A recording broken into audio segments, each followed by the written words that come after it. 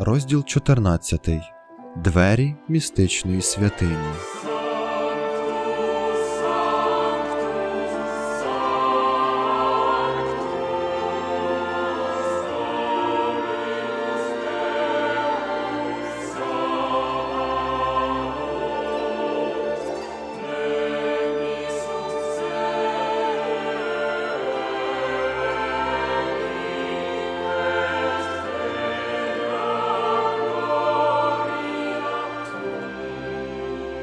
Що є цими дверима?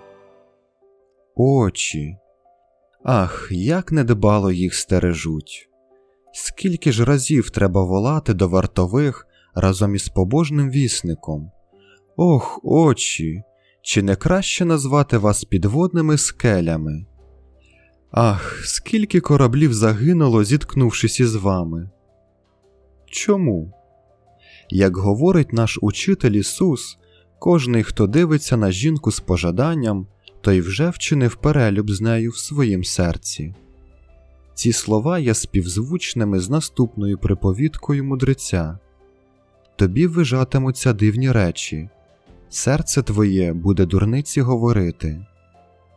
Адже те, на що очі звернули увагу, відразу ж потрапляє до серця.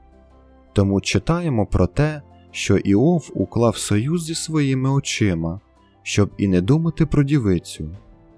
Хто ж такого союзу не укладає, нехай замислиться.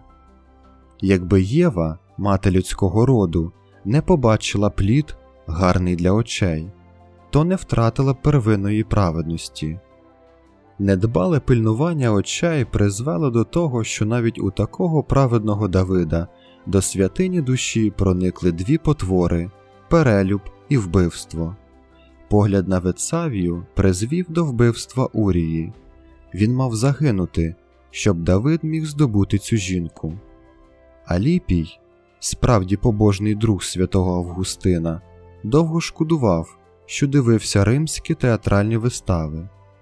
Князь апостольської колегії не боявся назвати нерозумними тваринами людей, очі яких сповнені перелюбом і грішать безнастанно. І дійсно, гріх є постійно там, де двері містичної святині завжди навстіж відчинені та доступні всім без винятку. Не одному християнинові Бог, залишаючи його серце, може сказати Очі твої так зробили, що я відлетів. Як тільки щось огидне і зле через очі залітає до душі, звідти відразу відлітає найвища краса і добро найвище. Чи не замикатимеш цих дверей і ти, котрий хочеш, щоб Бог перебував із тобою, а ти з Богом? Адже він оселився із дуже скромним юнаком, святим Алойзієм Гонзагою, який жодного разу не поглянув на герцогиню, хоч приходив до неї щодня впродовж трьох років. Бог також замешкав із недавно залученим до лику святих Петром Алькантарським, духовним отцем францисканців суворого правила, який протягом сорока років не поглянув ані на чоловіка, ані на жінку.